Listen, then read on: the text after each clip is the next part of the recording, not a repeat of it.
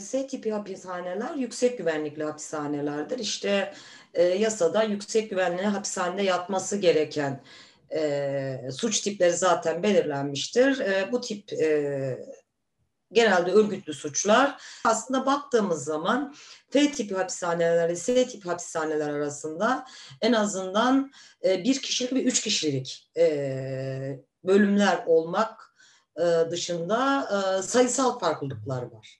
Yani şu şekilde işte Türkiye'deki F tipi hapishanelerde bir ve üç kişilik e, sistem üzerine kurgulanmıştır ve kapasiteler 368'dir. S tipi hapishanelerde 1 ve 3 kişi üzerine kurgulanmıştır. Kapasiteleri 552'dir.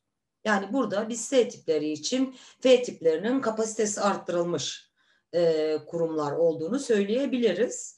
E, biz e, aslında e, bilgi edinme başvuruları ile S tipi arasındaki fark nedir? E, sorusuna e, bilgi edinmemize işte bu o, araştırma gerekir, kurumun gizliliğini ilgilendiren bir bilgidir, veremiyoruz diye cevap e, verdiler.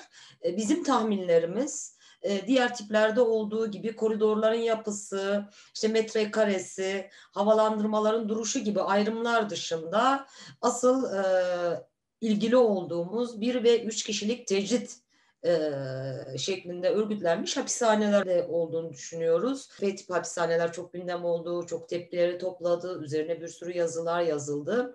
E, eğer e, kamuoyunda işte beş tane F tipi açıldı denseydi bunun yaratacağı etki farklıydı. Ama şu ana kadar beş tane S tipi açıldı. İşte iki tanesinin hazırlığı devam ediyor. E, kamuoyunda o kadar büyük bir tepki e, doğurmadı. Biz bunun da bir etkisi olduğunu düşünüyoruz.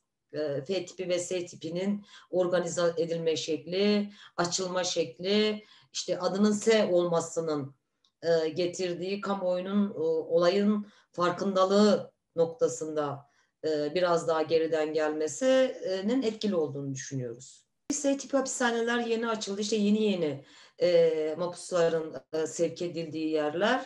E, yakın zamanda biz işte gidip e, bu konuda bir raporlama yapmayı düşünüyoruz. Başvurular genelde işte e, yeni bir kuruma gittikleri, işte çıplak aramayla karşılaştıkları, orada kuralların daha katı uygulandığı gibi ama e, S tipi hapishanenin organizasyonel yapısı, havalandırması ve e, yarattığı fiziki sorunlarla ilgili bize henüz gelen bir başvuru mevcut değil inisiyatif alan ya da almayan kurumlar işte savcılıklar ve benzerinin dışında burada çok yapısal bir sorunla aslında biz karşı karşıyayız. Ee, 16. maddede işte e, bir düzenleme yapılarak e, o işte adli tıp kurumundaki kişiler ve benzeri şeyler tartışılıyor ama asıl yapısal olarak çok ciddi bir sorun var burada. Ee, bizim e, ve birçok sivil toplum kuruluşunun, meslek odasının e, yıllardır talep ettiği bir şey var adli tıp kurumları yapısal olarak bağımsız kurumlar değildir. Daha politik kararların verildiği, daha ideolojik kararların verildiği üzerine aslında sağlıkçıların yaptığı, çünkü bu sağlıkçıların incelemesi gereken, yani dosyayı alıp bakıp incelemesi gereken bir konu. E, Birçok yorum var. Yine orada adli tıp kurumuyla görüşen e, mapusların oradaki yaklaşımlar üzerine bir sürü negatif yorumu var. Atamalarla gelinen adli tıp kurumunun e, karar verici mecliden, merciden çıkarılması ve bunun yerine bağımsız üniversite hastanelerinin çünkü bunlar büyük e, heyetler halinde tarafsız işte e, sadece e, hasta ve doktor o, noktasından hareket edebilecek büyük heyetler olduğu birçok yerde aslında bu heyet raporlarının kabul edilirken e, işte mapusların bırakılması ya da onların 16. maddeden faydalanması noktası neden kabul edilmediği, bunun e, hangi kaygıyla kabul edilmediği üzerinden bir tartışmanın yürütülmesi ve bir an önce işte e, heyetlerin vereceği, hastane heyetlerinin vereceği, gerekiyorsa burada işte bir sınırlama getirilebilir. İşte büyük üniversite hastaneleri,